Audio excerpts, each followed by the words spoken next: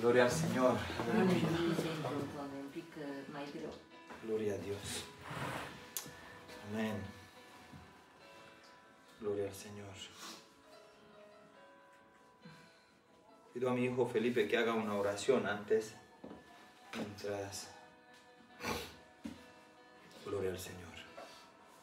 Amén. Gracias, Señor.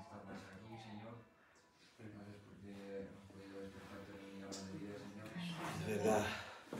Agradecemos, Señor, que nos hayamos podido reunir aquí Gracias, Señor. con la posibilidad de hacerlo totalmente tranquilo, Señor, sin que tengamos un peligro para asustarnos, Señor. Es verdad. Gracias porque tú nos perdonas, nos ayudas a ir Así es, Señor. Contigo, Señor. Haz de, de que, del predicador que seas Gracias, nosotros, Señor. Amén, Señor, Padre. podamos entender lo que nos quieres decir. Así es. Amém. y que tengamos la capacidad, Señor, de, de pensar a tu semejanza, Señor, Amén, Señor. y que podamos actuar sobre tu gusto, Señor. Amén. Amén. Gracias. Amén. Abre tu Biblia en Lucas 15, el médico. Aleluya.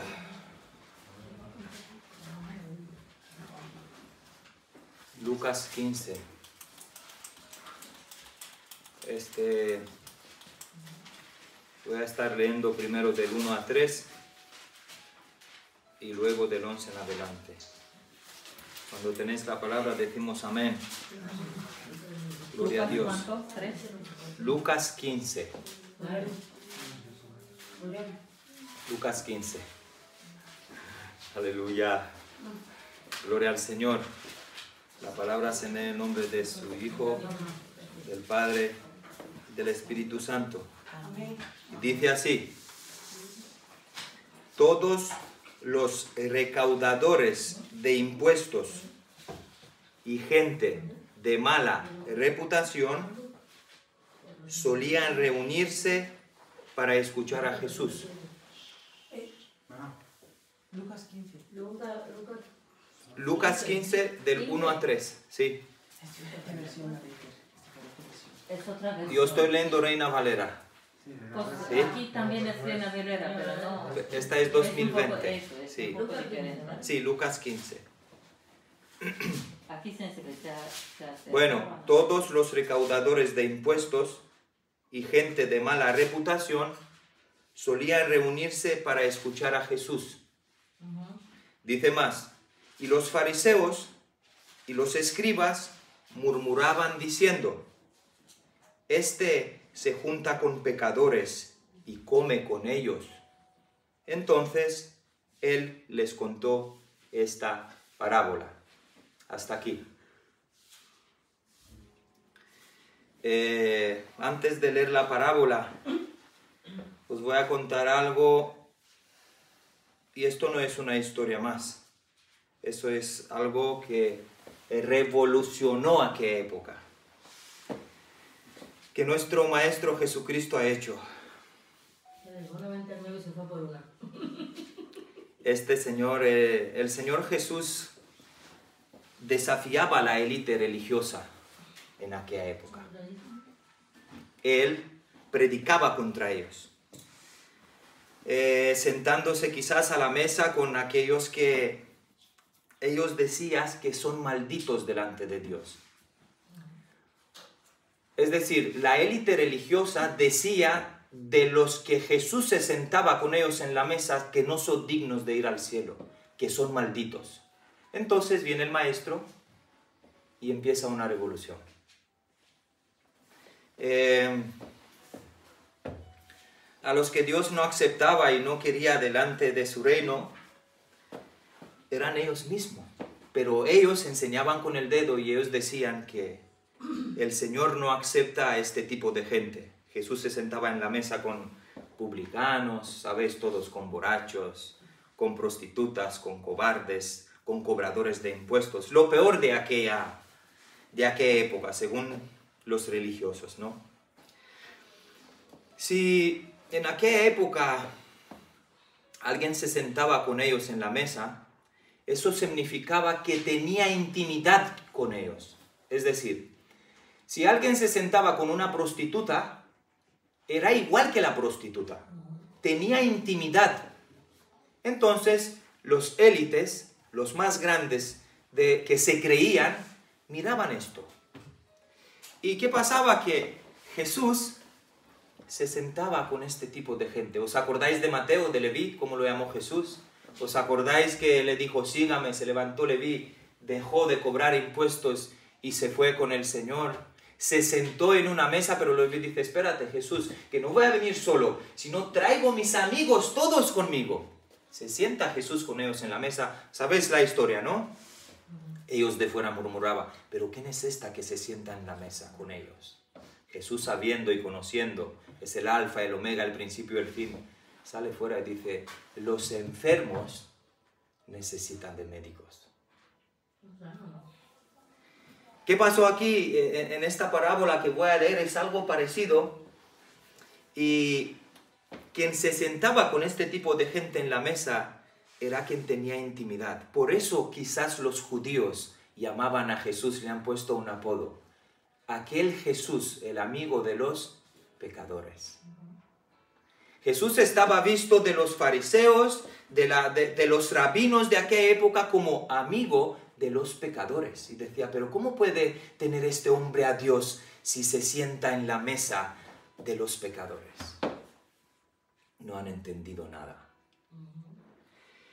Eh, para que me entendáis lo que voy a leer, la parábola eh, fue dicha por eso.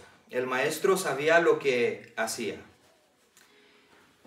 Eh, siempre digo que el único maestro verdadero, de hecho hay una, hay una parte en la Biblia que dice que no podemos llamar maestro a nadie, de hecho nosotros lo hacemos, es Jesús, porque Jesús era el buen maestro. Él enseñaba y enseñaba con, con el ejemplo. Ellos deseaban, si realmente representas a Dios, no andarías con este tipo de gente. Un santo de la mesa, un santo a la mesa de los perdidos. Entonces Jesús muy inteligente les explica a los que creían, a los que se creían santos, viene con esta parábola que voy a leer ahora y les explica esta parábola de una manera para que ellos la entendieran. Y voy a estar leyendo desde el versículo 11 en adelante. Amén.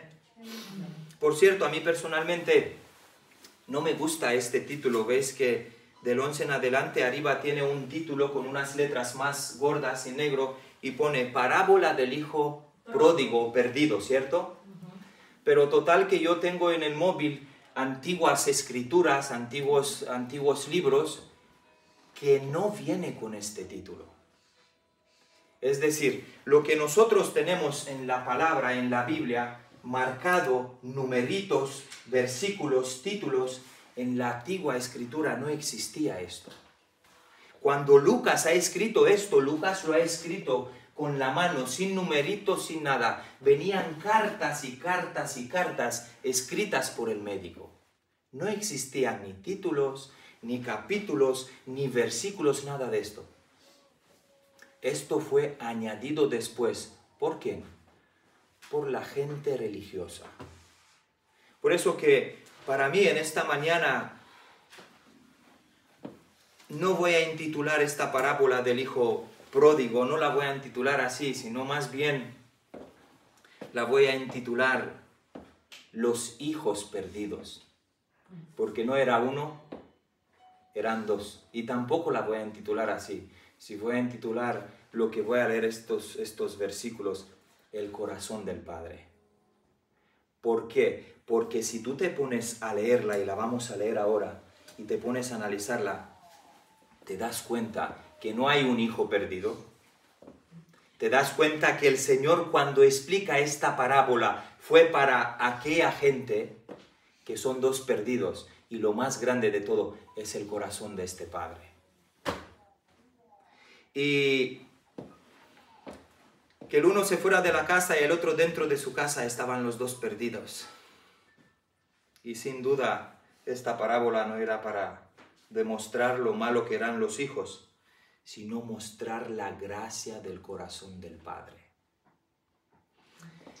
Yo intitularía esta palabra como les he dicho y intitulo el título de esta palabra, el corazón del Padre. Vamos a leer la palabra. Pido silencio y, por favor escuchar la palabra porque es muy elevada. Métete en ella. Dice así. También contó esta otra parábola. Un hombre tenía dos hijos y el menor de ellos dijo a su padre, Padre, dame la parte de la herencia que me corresponde. El padre les repartió los bienes. Pocos días después, el menor, tras juntar todo lo que le correspondía, se fue a una provincia lejana y apartada y ahí despifarró su herencia de mala manera. Todo lo había malgastado cuando sobrevino una gran hambruna en aquel lugar y él comenzó a pasar necesidad. Entonces se puso al servicio de uno de los ciudadanos de aquella tierra y éste le envió a su hacienda para que apacentase cerdos. Él deseaba llenar su vientre con algunas, con algarrobas que comían los cerdos, pues nadie le daba comida. Recapacitando, se dijo, ¿cuántos jornaleros en casa de mi padre tienen abundancia de pan y yo aquí perezco de hambre? Me levantaré, iré a mi padre y le diré, Padre, he pecado contra el cielo y contra ti. Yo no soy digno de ser llamado hijo tuyo. Trátame como a uno de tus jornaleros. Y abandonado el país se dirigió a la casa de su padre. Cuando aún estaba lejos, le dio su padre quien profundamente conmovido corrió a su encuentro y se echó sobre su cuello y le besó. Y el hijo le dijo, Padre, he pecado contra el cielo y contra ti. Ya no merezco que me llames hijo. Pero el padre dijo a sus siervos, Sacad el mejor vestido y vestidle, ponedle un anillo en su dedo y calzado en sus pies. Traed el becerro engordado, matadlo y comamos y hagamos fiesta, porque este hijo mío estaba muerto y ha vuelto a la vida. Se había perdido y ha sido hallado, y comenzaron la celebración. El hijo mayor estaba en el campo. Según se iba acercando a casa, oyó la música y las danzas, y llamado a uno de los criados le preguntó, ¿qué era aquello? El criado le dijo, tu hermano ha regresado, y tu padre ha hecho matar el becerro engordado por haberlo recobrado sano y salvo. El hijo mayor se enojó y no quería entrar. Entonces salió su padre y le rogó que entrara, mas él respondió al padre, desde hace muchos años vengo trabajando para ti, sin desobedecerte, en nada, y tú jamás me has dado ni siquiera un cabrito para hacer fiesta con mis amigos. Pero cuando vino este hijo tuyo, que ha malgastado tus bienes con ramera, has hecho matar para él el becerro engordado. El padre entonces le dijo, Hijo, tú siempre estás conmigo y todas mis cosas son tuyas. Pero era necesario hacer fiesta y alegremos porque tu hermano estaba muerto y ha vuelto a la vida. Se había perdido y ha sido hallado. Amén.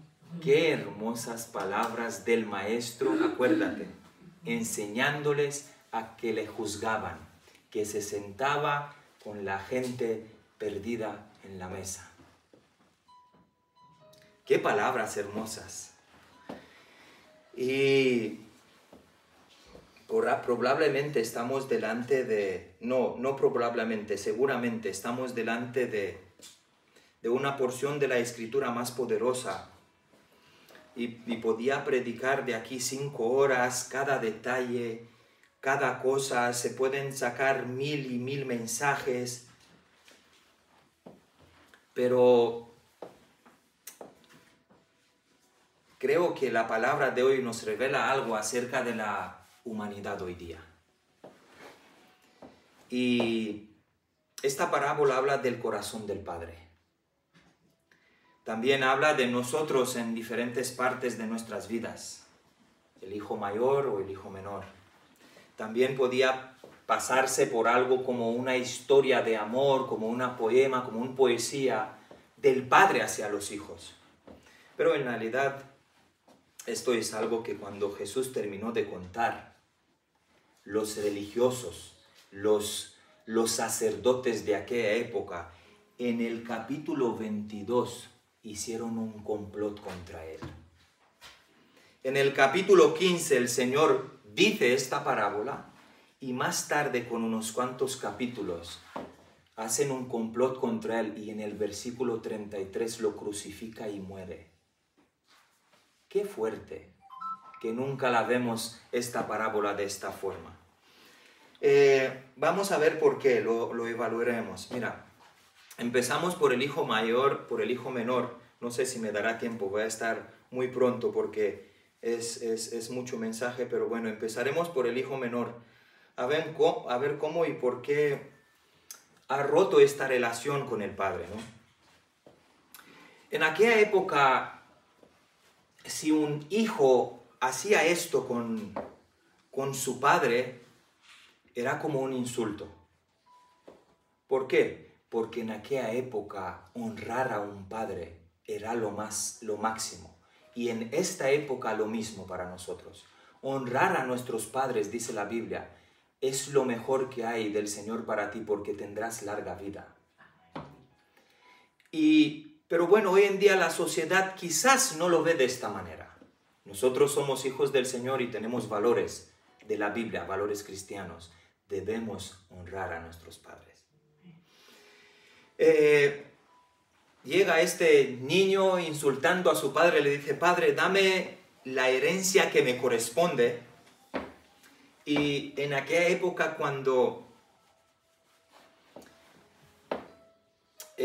cuando un, un niño viene y le pide a su padre la herencia, es como que el niño dice, mira, me vales más muerto que vivo.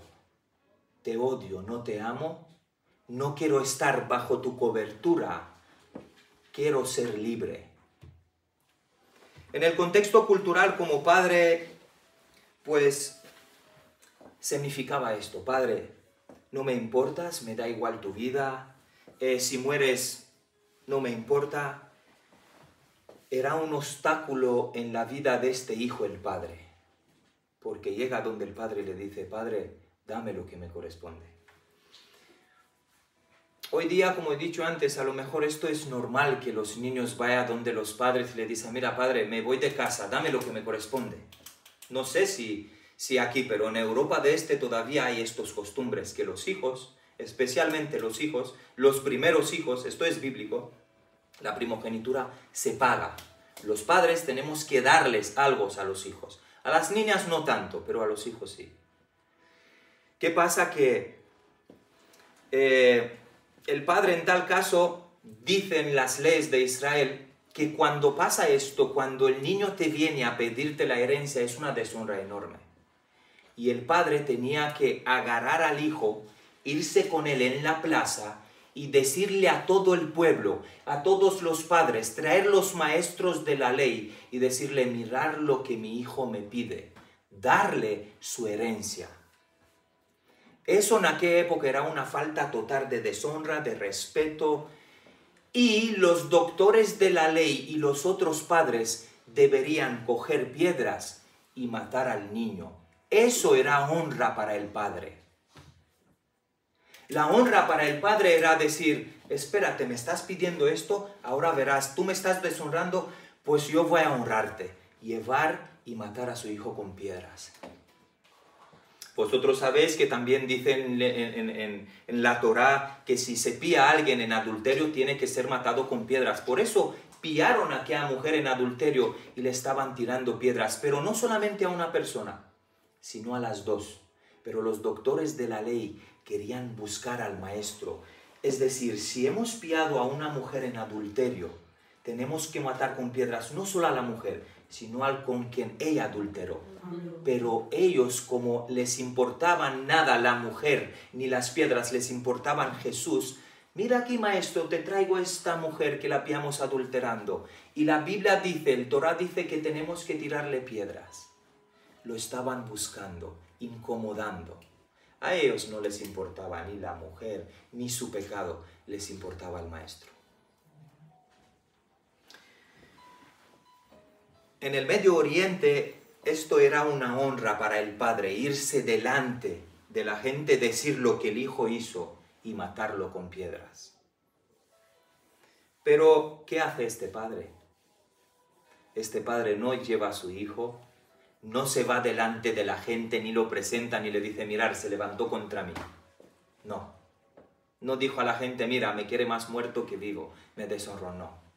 Este padre, dice la Biblia, que agarra lo que le corresponde, le dice, toma.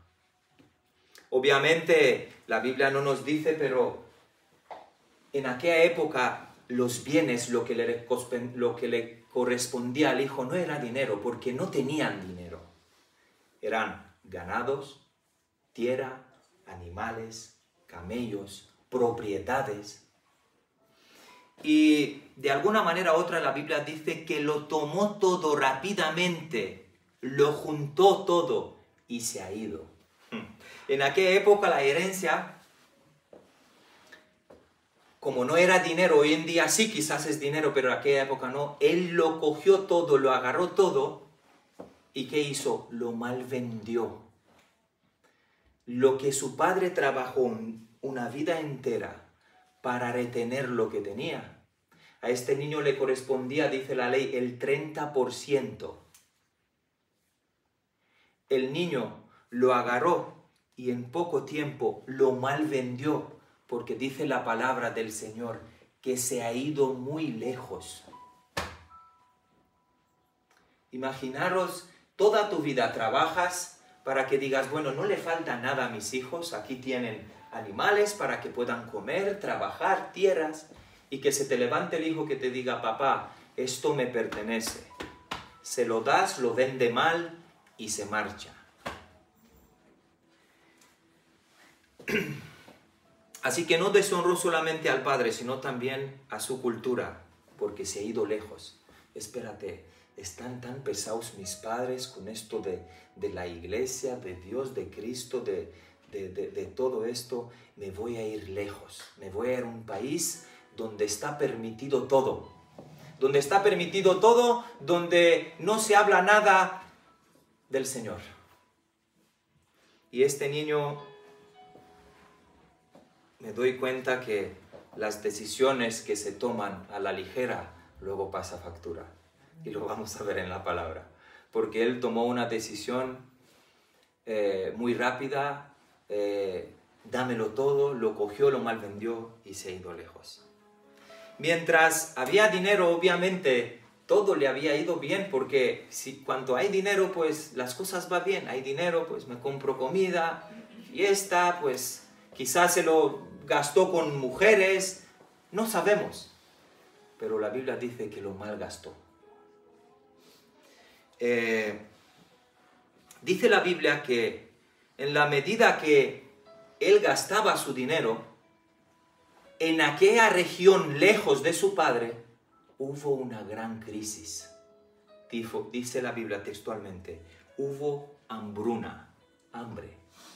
¿Qué pasa con el niño que vende mal lo que el padre le da, quizás lo vendió al 2% de su valor solamente para irse lejos de su padre, lo gastó todo y dice la palabra del Señor que vino una gran crisis.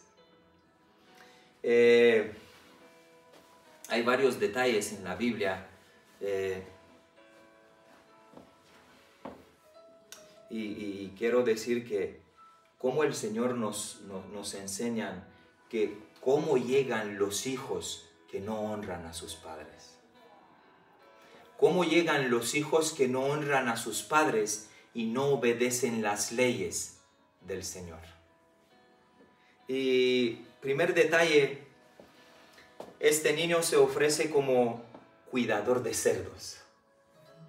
Es decir, ha llegado tan lejos y ha tocado fondo que dice la Biblia que se ofrece a cuidar cerdos. Para nosotros en nuestra época no pasa nada. ¿Por qué? Porque comes un jamón serrano y es lo más rico que hay.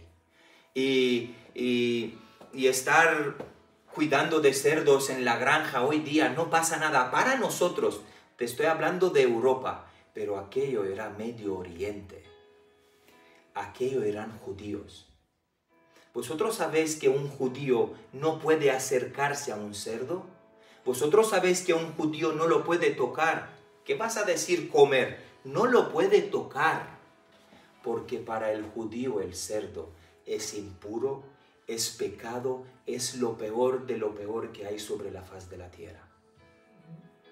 Y este niño eh, llega en- en una granja pidiendo trabajo y haya trabajo de cuidador de cerdos. Todo el día estaba tocando cerdos. Qué fuerte. Quien desobedece al Padre llega a tocar cerdos. Que no obedece las leyes del Padre llega a meterse a comer lo que los perros y los cerdos comían. Pero cuando Jesús cuenta esta historia, Él nos quiere enseñar que este hijo cayó en la vergüenza eh, absoluta, tocó fondo. Por eso el Señor mete en esta parábola a los cerdos, porque para los judíos el cerdo es como en este día, mira, se me ha ido el hijo de casa, le di la herencia y ha llegado a prostituirse. Mi hijo se acostó con hombres por dinero. Es lo mismo. Pero el Señor nos da ejemplo los cerdos. Eh, el segundo detalle, dice la Biblia, que lo pasó tan mal, tan mal, tan mal, que tuvo que vender sus zapatos. Es decir, en el versículo 20 eh, habla de esto, que llegó a casa descalzo y el Padre le dio zapatos. El Señor Jesús nos quiere decir que en aquella época los esclavos, los, los marginados, los que trabajaban por un plato de comida, que eran aquellos esclavos que trabajaban 24 de 24, apenas tenían ropa para cubrir su cuerpo y zapatos tampoco. Tocó fondo el hijo pequeño al no obedecer a su padre. Tocaba lo impuro, era depravado, pecador y esclavo. ¿Pero por qué? Por sus propias decisiones. Cuando tomamos decisiones a la ligera, sin contar con Él, que es nuestro Padre, sin obedecerse las leyes de Él, llegamos a tocar fondo. Llegamos a llegar a tocar cerdos, llegamos a llegar a comer con los cerdos de la miseria de este mundo, llegamos a ser el esclavo de nuestras propias decisiones. Y el niño pequeño, el segundo detalle, es que era como un esclavo. Hay algo más que el versículo 22 habla de los zapatos, perdón. Jesús intenta decirnos que si no obedecemos al Padre, entraremos en un estado de deshonra, pecado y esclavitud, esclavo de nuestras malas decisiones. Siendo, siendo este niño, este hijo, heredero de una gran fortuna, teniendo de todo, se convierte en un muerto de hambre. ¿Y cómo es el Señor que nos deja esta parábola? ¿Cómo es el Señor que nos deja a veces tocar fondo? ¿Tú has tocado fondo? Yo sí toqué fondo. Y siendo un príncipe, este niño ahora es un miserable. Eh, todos que abandonan las leyes del Padre y, no las obedece, llegan a ser miserables, quizás ricos, porque hay miserables ricos, pero del diablo. Si no pagamos precio y no cargamos la cruz, se llega a esto, hermanos. El hijo pequeño nos demuestra cómo es fácil caer en la tentación, cómo es fácil tomar decisiones a la ligera y hacer de nuestra vida un calvario. No para bien, sino para peor. Eh, a veces piensan los jóvenes que las amistades, quizás las fiestas, la borrachera, el sexo, la fama. Quizás todo esto te lleva a algo o te da algo, pero no es así. Desde siempre nuestros padres nunca nos han querido para mal. Sea cristiano o no sea cristiano, un padre no ama para mal a su hijo. Desde nunca yo no conozco un padre que le diga al hijo, hijo, diviértete, toma dinero y vete a la borrachera. Nunca. Eh, pero todo esto estamos viéndolo como llevó a este hijo a la perdición.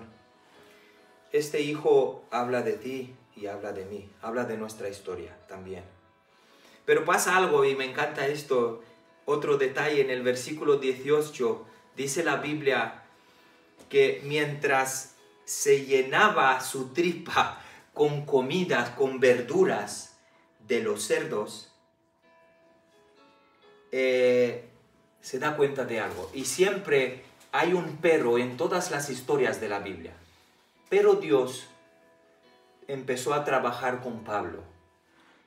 Pero Jairo se dio cuenta de que ya estaba terminado. Pero esta mujer del flujo de sangre se dio cuenta que estaba Cristo ahí. En nuestra vida debe existir perros.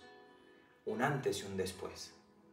Y en la vida de este joven hijo existe un pero que dice el versículo 18 más en delante, despertó y dijo. Hay otros, hay otros, hay otros, otras traducciones que dijo volvió en sí y hay otra traducción que dijo recapacitó. ¿Cómo? Espérate, Señor. ¿Qué estoy haciendo yo aquí? En este mundo miserable, rodeado de homosexuales, de lesbianas, de travesti, en este sitio donde hay luces de noche, mi carne vibra, mi carne quiere bailar, alcohol, droga. ¿Qué estoy haciendo yo aquí? Hay algo que el Señor puso en nosotros que no lo llena nada, Amén. solamente Él. Amén. Y este niño dice la Biblia que empieza a recapacitar y empieza a pensar, los jornaleros, los trabajadores que trabajan para mi Padre, viven mejor que yo vivo. ¿Qué he hecho yo con mi vida? Y llega en la vida de este niño el arrepentimiento, pero un arrepentimiento verdadero. Despertó, volvió en sí. Hoy día me di cuenta y si os dais cuenta, ya no se predica el arrepentimiento. ¿Por qué? Pues porque es difícil para la gente que quiere tener una manada de cerdos predicar el arrepentimiento. Porque si yo te digo, hermana, arrepiéntete, arrepiéntete, al final te cansas y dices, ¿sabes qué? Déjame en paz. Pero eh, hoy día tratan el arrepentimiento como tal cosa de una oración acepta a Cristo. No existe tal cosa. Eh, como, bueno, eh, vamos a hacer la oración de... No existe tal cosa. Eh, quizás he llorado en el culto, me he arrepentido. No es esto el arrepentimiento. Por eso que hoy en día en las iglesias hay gente convencida de que Cristo es el Rey, pero no son arrepentidos. A veces llorar no es arrepentir, porque mira lo que dice la Biblia. Este niño volvió en sí y con su corazón empezó a pensar, se arrepintió. Los jornaleros de la casa de mi padre tienen una vida mejor que yo aquí. Y se arrepintió y empezó a reconocer, ¿y por qué será que estoy aquí? No estoy ni por la sociedad, no estoy ni por mis amigos, no estoy ni por mi hermano, ni tampoco por la culpa de mi padre. Estoy por mi culpa hundido en la miseria. Esto es arrepentimiento. Un corazón que cambia de pensar, que cambia de actuar, un arrepentimiento genuino es aceptar que el culpable de todo soy yo y no me merezco nada. Y por su gracia Él murió en la cruz por mí. Pero ¿sabes lo que pasa? La gente quiere un, un, un arrepentimiento sin leyes, con gracia. Murió Él por mí y hasta, yo soy salvo. Mentira del diablo. Para que lleguemos a ser salvo, hay unas leyes que el Padre nos da, que son unas cuantas para obedecerle. Porque sin ley nadie verá al Señor. El arrepentimiento es cambio de comportamiento, cambio de actitud, cambio de vida. Digo más, obedecer al Padre y cumplir con los mandamientos, no solo gracia. Esto es arrepentimiento. Esto es el Evangelio. El Evangelio no es Jesús te ama, como nos han dicho y como nos han engañado. El Evangelio es pagar precio. ¿Por qué para pagar precio debemos cumplir leyes? Y este niño no quiso estar honrando a su padre, se rebeló contra el padre. No, sabes que estoy harto de vosotros. Me voy a buscar mi vida, me voy a estudiar, porque contigo papá y mamá lo siento, pero no puedo estar, porque sois muy locos con todo, sois locos. Y vivimos esto, pero gracias al Señor, que el Padre no llevó al niño a que lo maten con piedra. Gracias al Señor que esta parábola habla del corazón bondadoso del Padre. Aleluya. Porque si fuera por la ley el niño que sale de casa merece ser apedreado. Porque quien ama más al mundo que a la ley o a su madre, a su padre, no es digno de ganar el cielo. Porque para ir al cielo, las cruces no están cabeza abajo, vaya abajo. Para ir al cielo, las cruces, hemos estado en Jerusalén, están arriba en el monte de Gólgota. Y para subir arriba hay una cuesta que cuesta. Y si no pagas precio y no subes en la cuesta que cuesta, no cumples los mandamientos. Y si no hay cruz, no hay vida. ¿Sabéis algo? Este, siempre lo digo, no queremos pagar precio porque tenemos excusas. Cuando el Señor hizo a Adán y a Eva, el Señor se va donde Adán y le pregunta, pero bueno, ¿qué has hecho, Adán? No, Señor, sabes que... No, ¿qué has hecho? No, Señor, la mujer que tú me diste. Se va donde Eva, bueno, Eva, ¿y tú qué hiciste? No, Señor, las serpientes que tú permitiste que esté aquí. Y la gente dice, ¿dónde está Dios? ¿Por qué el Señor no perdonó a Adán y a Eva? Porque no pidieron perdón, no hubo arrepentimiento. Ni Adán ni Eva. Génesis 1, 2 y 3 no piden perdón. ¿Por qué?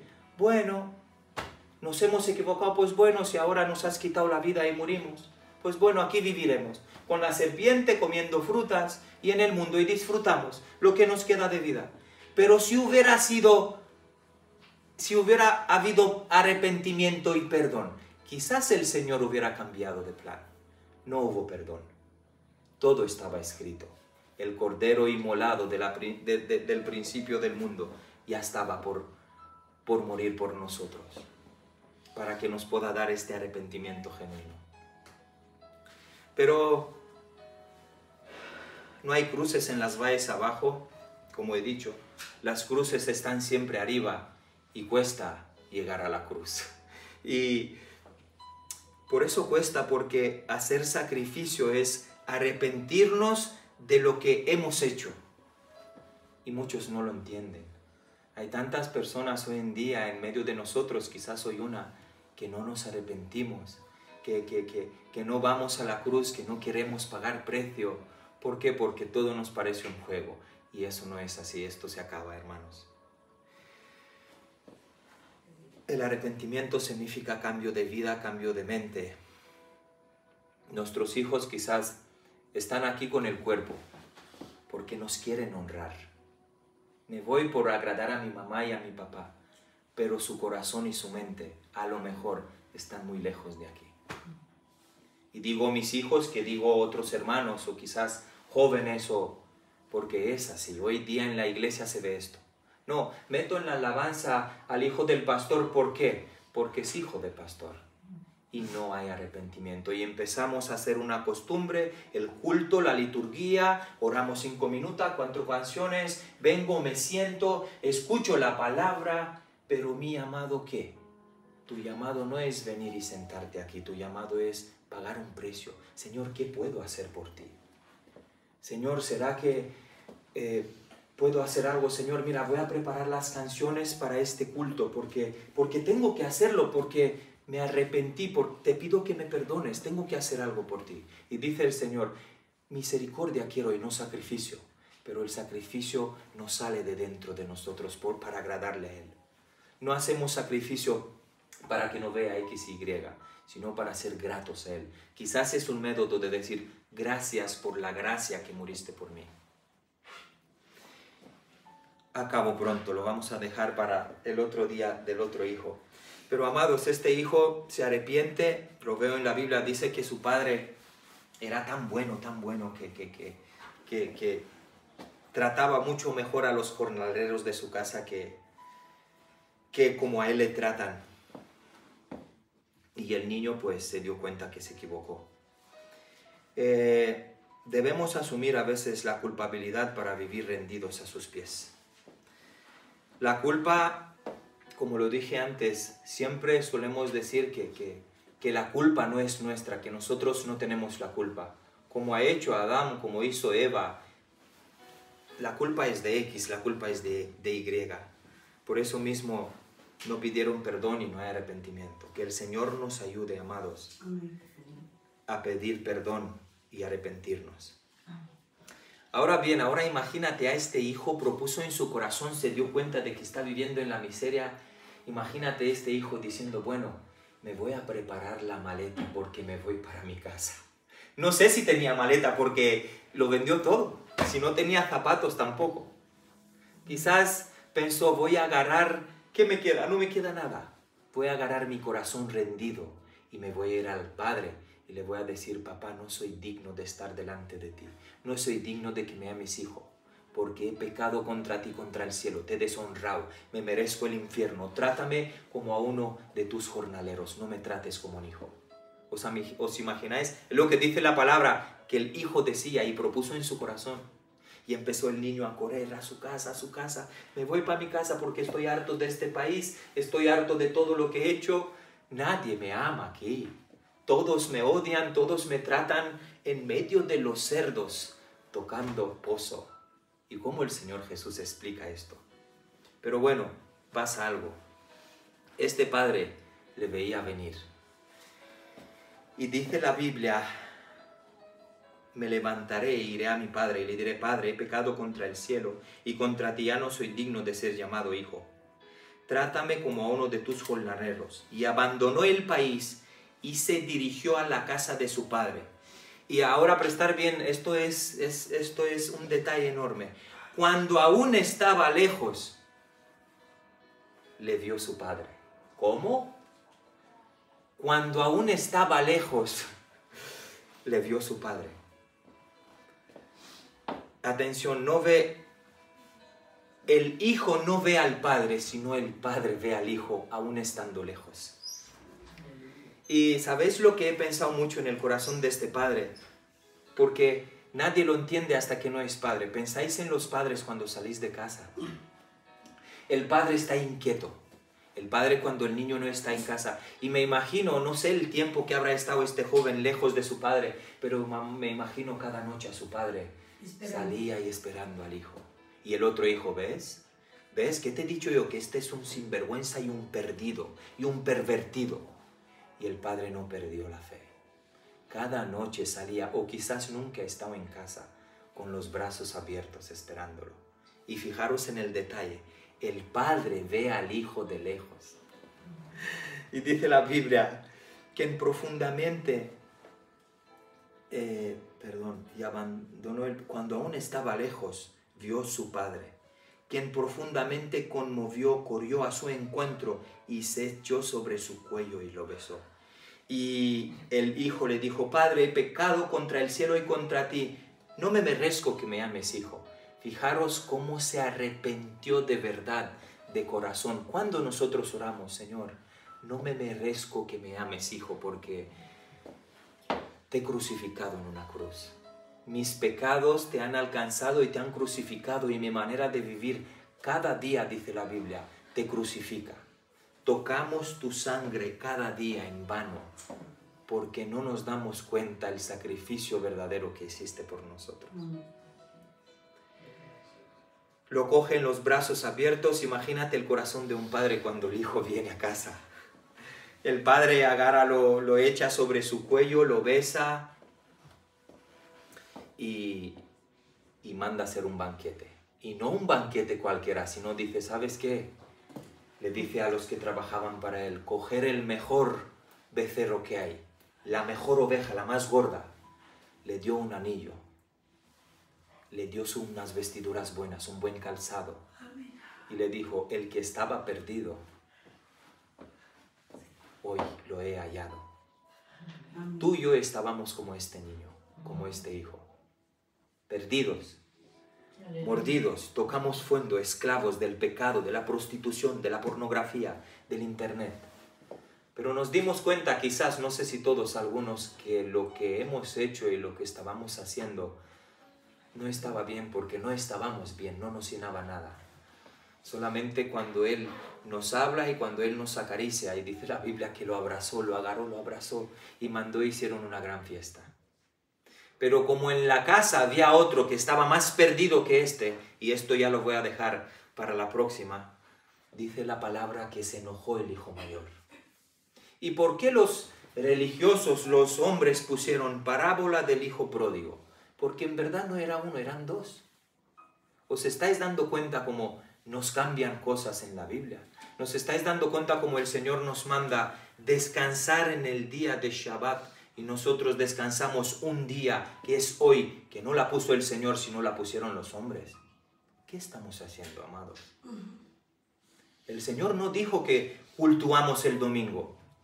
El Señor dice cultuar todos los días no es malo, pero el descanso es sábado. Él es el dueño del Shabbat.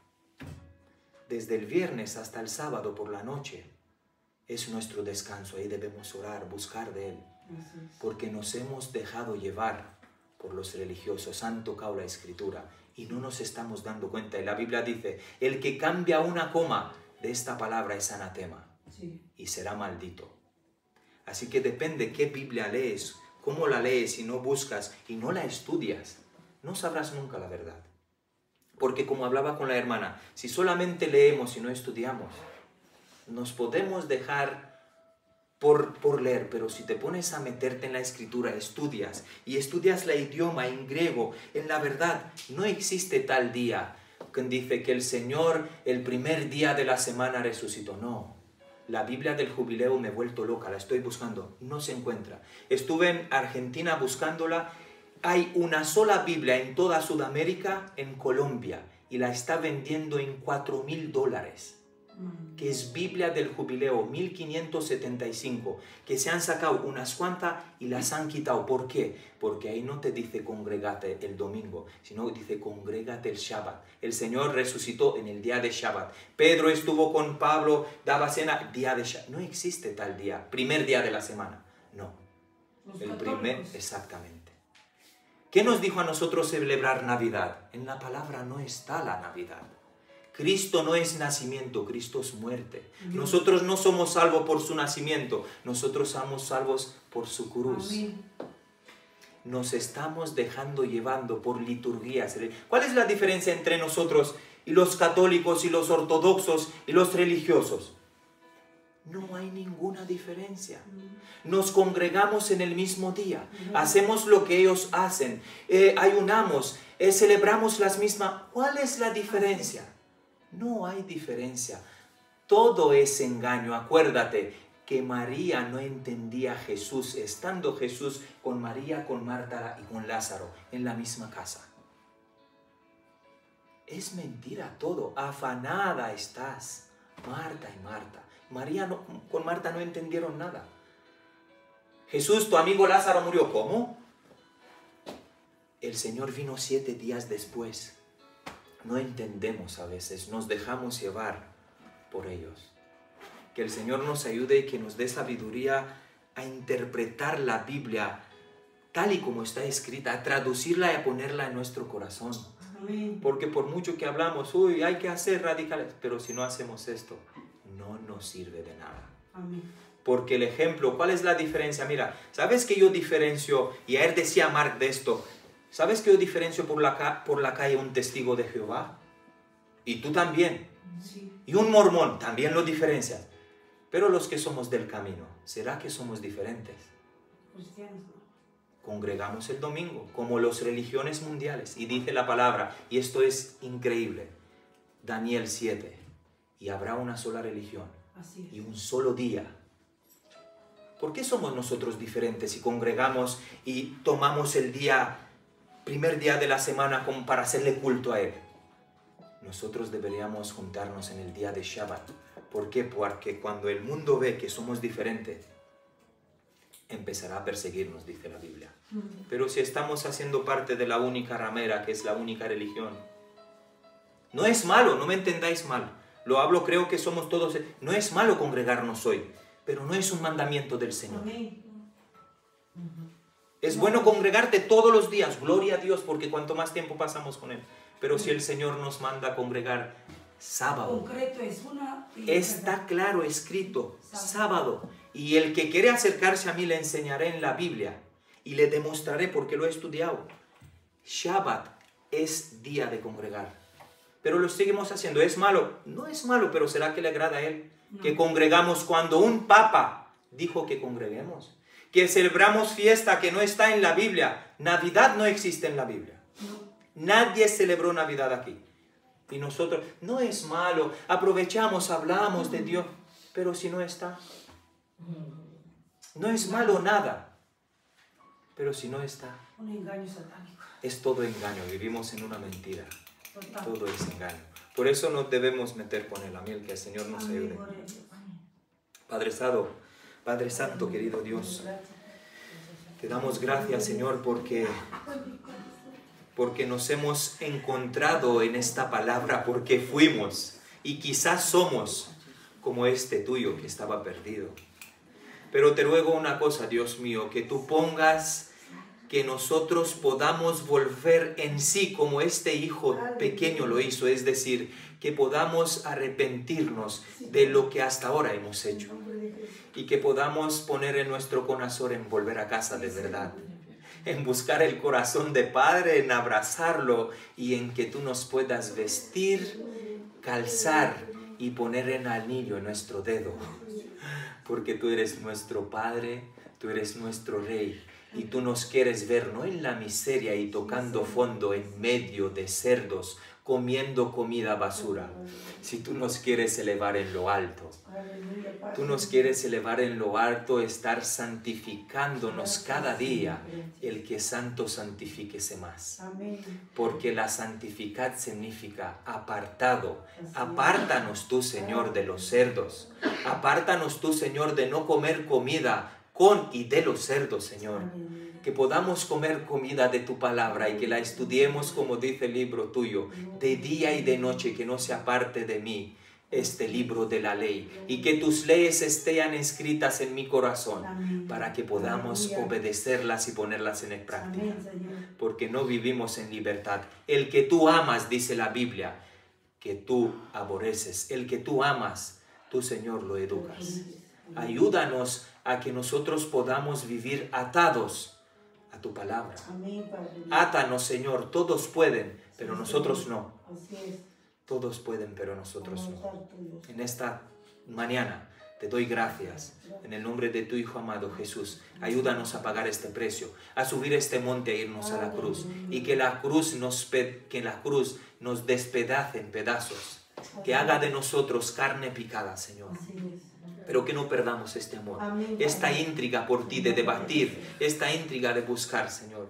Ayúdanos en el nombre de Jesús a honrar a nuestros padres, a amar a nuestros padres, Señor. Ayúdame a que ame a mis padres con todo mi corazón, a que los honre y a que los obedezca, Señor, en el nombre de Jesús. Porque tu palabra me dice esto, es un mandamiento. El que no cumple los mandamientos no te verá, Señor. Que por tu gracia tú nos has dado eh, oportunidad de conocerte, Señor, por tu gracia. Pero la gracia sin mandamiento no tiene, Señor, valor. Gracias en el nombre de tu Hijo amado Jesús. Aleluya. Amén a la palabra, hermano Nicolás. Gloria al Señor.